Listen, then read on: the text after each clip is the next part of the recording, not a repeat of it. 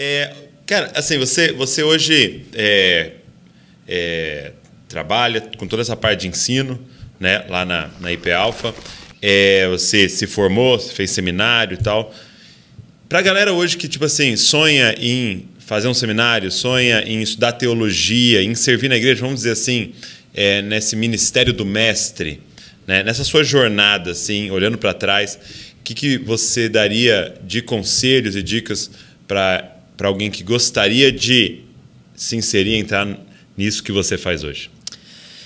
Cara, tem algumas coisas. Conselhos de faça isso e não faça isso. É, tem, tem algumas coisas que eu acho importantes. A primeira delas é assim: não menospreze a disciplina. Hum, que sentido? É, você vai precisar ter disciplina para fazer coisas que você não quer fazer.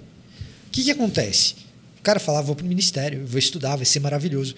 Você já deve ter passado por isso com gente em evento, assim, o cara chega, vai no acampamento, vai no retiro, ele fica três dias no retiro, o retiro é maravilhoso. Sim. E ele acha que a vida de ministério dele vai ser aquilo, né? Ele olha, se eu me dedicar exclusivamente. Se eu gostei disso aqui. Se eu gostei disso daqui, a vida de que é sempre estar no ministério deve ser sempre isso daqui, deve ser incrível. E a vida de ministério ela envolve você fazer muita coisa que você não quer fazer. Porque a vida de discipulado envolve você fazer muita coisa que você não quer fazer.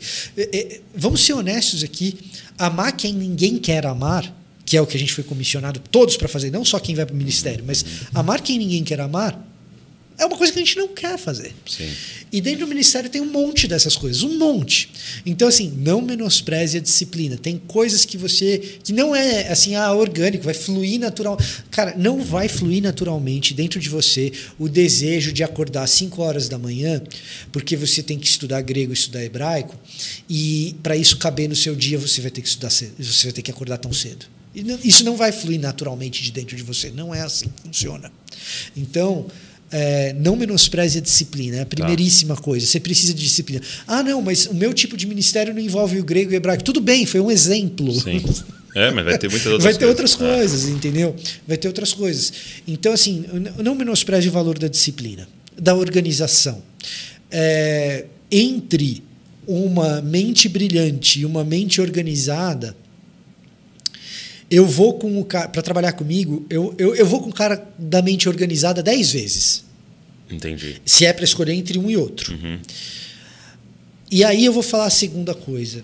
É, não menospreze o valor de uma boa vida emocional. Hum. Por quê? Porque talvez a tua desorganização não seja preguiça. Talvez a tua dificuldade com disciplina não seja vagabundagem.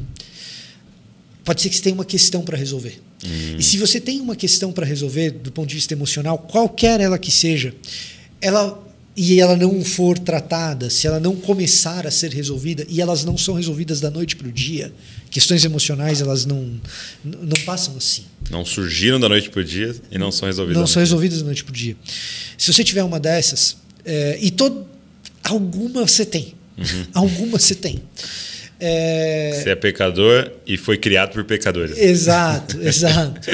Então, isso vai atrapalhar muito. Então, assim, tem uma vida emocional em dia. Ah, isso não é fácil. Não, não estou dizendo que é.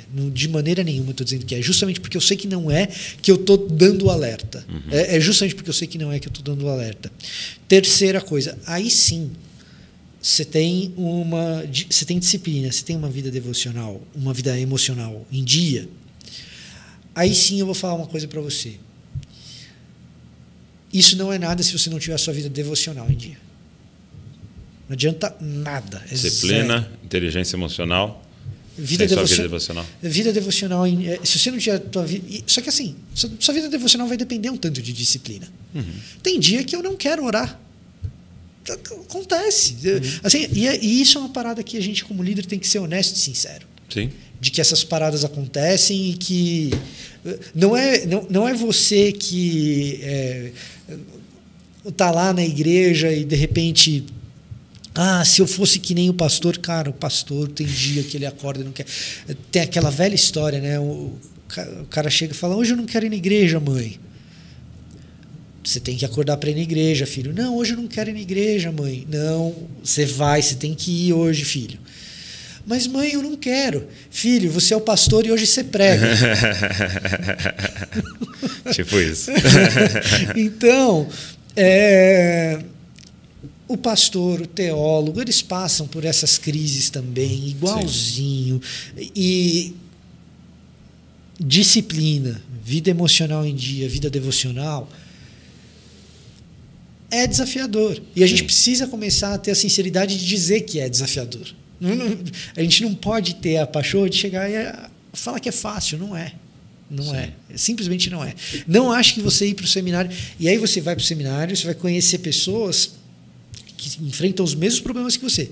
Se você tiver a expectativa de que você vai para o seminário, se o professor de seminário é a quarta pessoa da trindade, você vai se frustrar. E vai. você também não vai se tornar a quarta pessoa da trindade. Depois de formado. É, exato.